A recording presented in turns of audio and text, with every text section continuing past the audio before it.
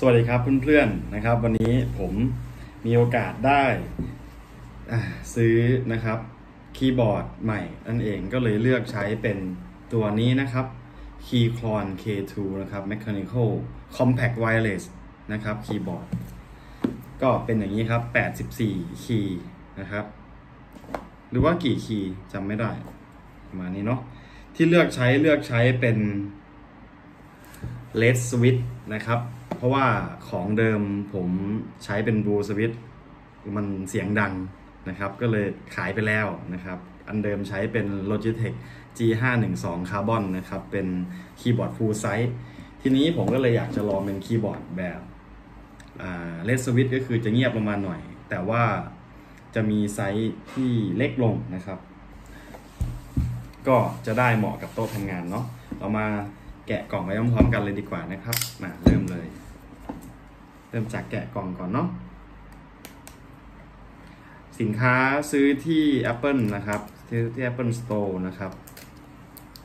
ก็รับประกัน 1 ปีตั้งแต่วันที่ซื้อเนาะนะครับ มาลองดูว่าเป็นเช่นไร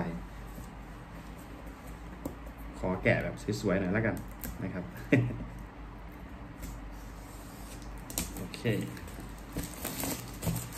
มานี้นะครับ อ่าตัวนี้จะเป็นเวอร์ชั่น 2 แล้วนะครับนะครับ เป็นเวอร์ชั่น2เนี่ยนะครับ มาดูกันข้างในโหเปิดมาผมปรับกล้องลงสักนิดหนึ่งกล่องดูพรีเมียมมาก ๆ นี่นะครับ ก็จะมี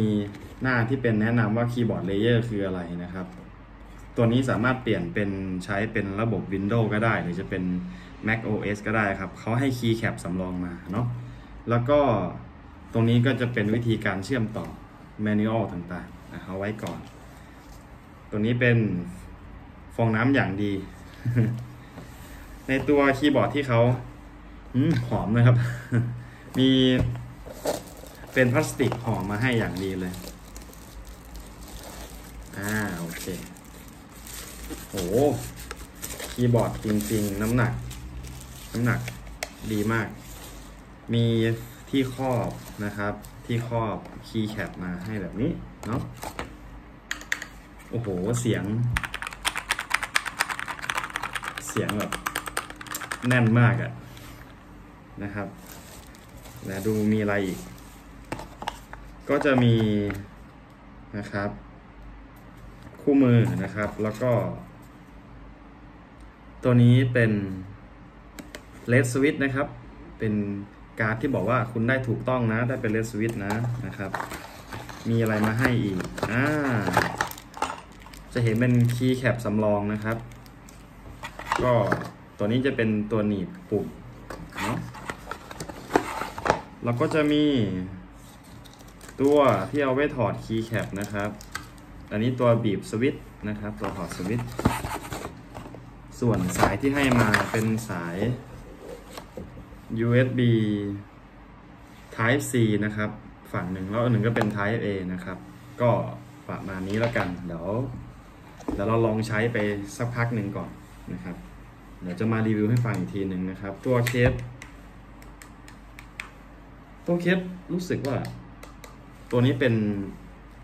อ่าเป็นพลาสติกนะครับ สีไม่ดำซะทีเดียวออกสี สเปซเกรย์นะครับประมาณนี้เนาะนะครับ มีตัวปรับความชันได้สองอย่างสองระดับนะครับ มีตัวเล็กกับตัวใหญ่ ตัวใหญ่แบบนี้นะครับสวิตช์ด้านข้างนะครับ ก็มีพอร์ต USB Type C นะครับ แล้วก็สวิตช์เลือกโหมดนะครับ เป็นบลูทูธแบบใช้สายหรือว่าเช่นไรนะครับ ก็หวังว่าน่าจะเป็นไกด์ให้เพื่อนๆได้ประมาณหนึ่งเนาะความรู้สึกที่ที่ได้เปิดมาแล้วเจอไอ้ตัวนี้นะครับสำหรับ Keycon เวอร์ชัน2 ก็ถูกใจครับ คีย์บอร์ดเล็กกระทัดรัดอีกอย่างครับ เป็น layer ภาษาไทยแล้วด้วยนะครับ keycap โอเคครับ ไว้เจอกันครับ